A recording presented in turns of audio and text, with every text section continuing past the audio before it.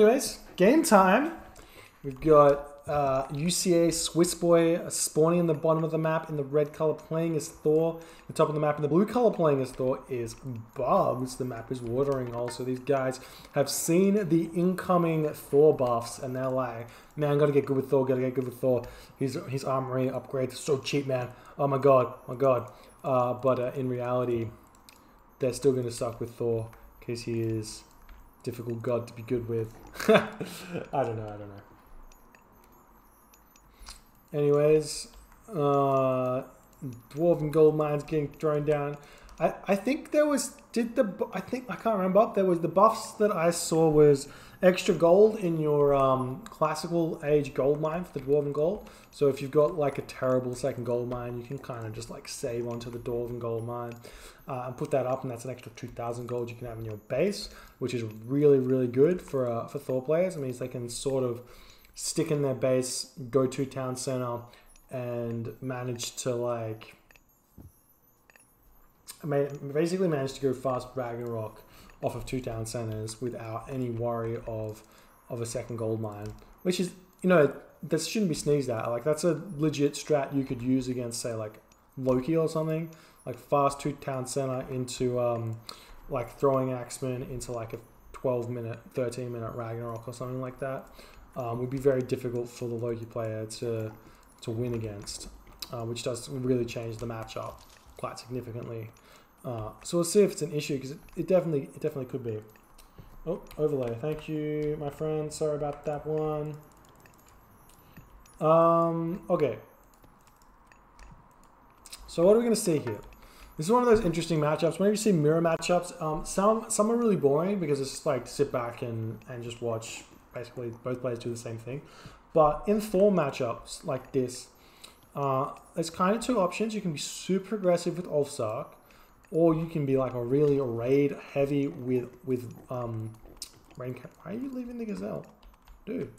I guess he wants to move forward and grab Hunt early, so he has something to retreat back onto. But there's still two Gazelle here. Maybe he doesn't. I don't know. Whatever. Anyways, moving forward. Uh, He's also got these rhinoceros here, so he is just legit, just wants to save the hunt for later. Temple going up in the middle of the map here, so Swiss Boy's going for the aggressive play. Matris looking like he wants to stay stay calm here with his uh, with his Temple back in his base. So maybe we're going to see uh, the Ulfsark pumping out here for uh, for Swiss Boy. Uh, in order to deal some some damage into uh, what Matris is at. The other thing you can do is you can you can put the buildings in the middle of the map Make sure you wall off your base so you can't be raided, and then just go raiders yourselves. Alright, temple's up now. House coming through. Um, we don't see... Oh, we do see Freya coming through. So it's going to be that 3 or 424 advance time from uh, from Matrius. Nice advance time there. Uh, and oh, still no advance time here for Swiss Boy because he moved forward onto this hunt. Maybe a little bit behind. He's actually building out an extra dwarf as well. So that's five dwarves, five villagers, and five and seven uh, foods. This is super old Thor build. It's super economic, which is really weird why he built so far forward. He's going to be able to build up three longhouses straight away. Maybe he's going to use this as a distraction point. So sometimes you'll find players um, will see a temple in the middle of the map and they'll spend the time to destroy it. And what Swiss Boy is potentially saying is, hey, you can kill this. It's 80 gold, 100 wood, and I'm just using it as a as a time sink here. And we are seeing Dwarven Armor coming up now for uh, for Matrius. Is this gonna is this gonna help him? Um, the other thing you can do with with Thor in this matchup, which I didn't talk about, is this Dwarven Armory thing get two longhouses, spam Ulfsark, and get armory upgrades. So you get out Copper Mail super early, and you start attacking with Ulfsark Flood. Uh, and it's really difficult for uh, anybody to sort of deal with it, especially once like maybe tier 2 upgrades come through. Um, so we'll see if that's a thing. The armory is there. It's not looking like a mattress is going to be going to the the heroic age or anything. So like the Thor armor. No, he's going for raiding cavalry. So forget everything I'm saying. We've got the uh, Longhouse coming up, Valkyrie here, and we do see Forseti for Swiss Boy. Super strange. Maybe Forseti, and you can get the Mythic Breastplate or whatever it's called for. We'll see. We'll see. I'm not sure if I like this at all. And oh, he's going for Ulfsark, so it is it is Forseti, and he's on Ulfsark. He's going Mythic Breastplate at some point, right? Mythic Breastplate gives you 10% hack armor, which is super useful. And he also needs to keep pumping out Hersir to deal with the uh, the Valkyrie. We're seeing all of the units flooding in right now. Mattress has got a huge advantage right now because he's already got his three longhouses up. And these guys are fighting here. You don't want to fight until your longhouses is up. Check out the population difference, 46 to 49. Swiss Boy is in an okay position here. He just needs to calm a little bit, not fight until he's got uh, enough units out, and and then he'll be in a in a good position. Moving over to this elephant, and again, this is something I was talking about. You see the military buildings in the middle. Is Swiss Boy just being like, I'm advancing later, I've got a little bit more wood than you, I'm going to just sacrifice some uh, some longhouse here and um, and keep spamming out my, my dudes. But he is population blocked, which is a little bit sad. 55 population to uh, 65. So Matria is coming out a little bit ahead here definitely needs to get these things sorted out. And now we see Swiss Boy, not Swiss Boy, Mattress being like, oh, okay, I see what you're doing. I can't actually just kill these guys. Move forward, does manage to pick off an Ulfsark there for free. And has he got armor upgrades just yet? Still not got anything. He's just pumping out the units. No real resources in the bank. Mm, he hasn't put the villages onto gold just yet. Uh, you can, you kind of want to get well, maybe. He does have to have the villagers on food to get out throwing axemen to deal with the uh, Ulfsark spam from Swiss Boy. And if you get out enough of these throwing axemen, these these Ulfsark just die like flies unless you have a good amount of upgrades. And we don't see an armory here for Swiss Boy. So he's not going to be getting those anytime soon.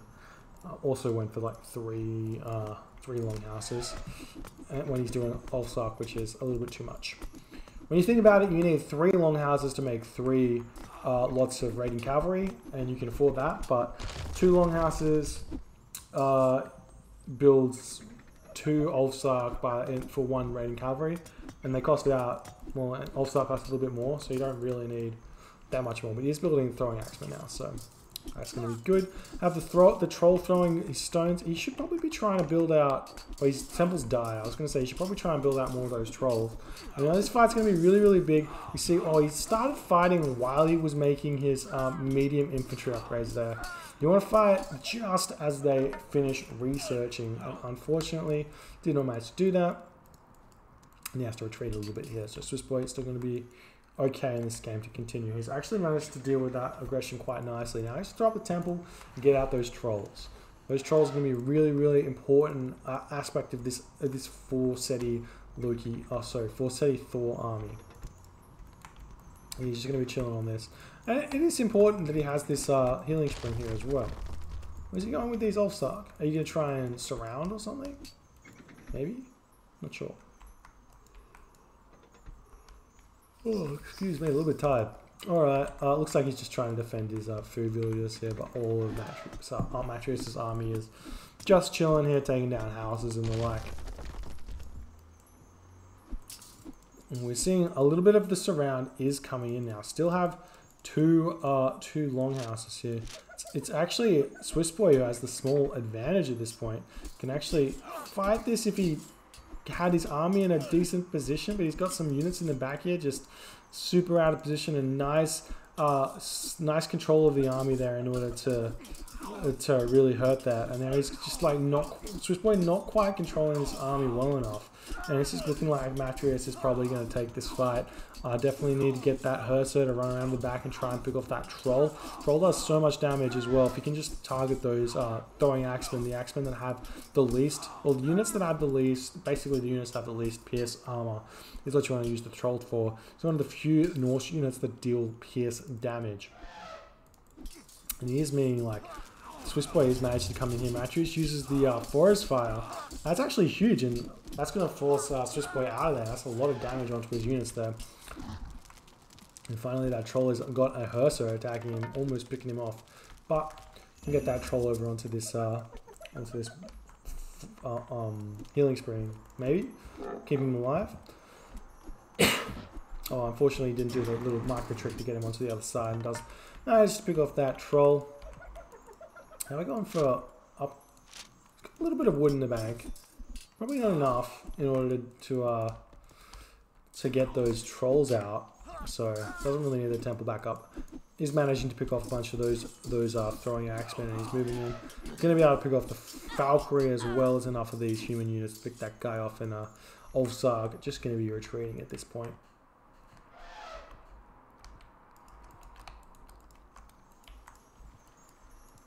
Now we're back onto the uh, onto the uh, healing spring here. Just chilling, doing their thing. Gatherers moving up onto the giraffe at this point, looking like they're gonna gonna feel good. Gonna feel good on those giraffe. House coming up for Matrius.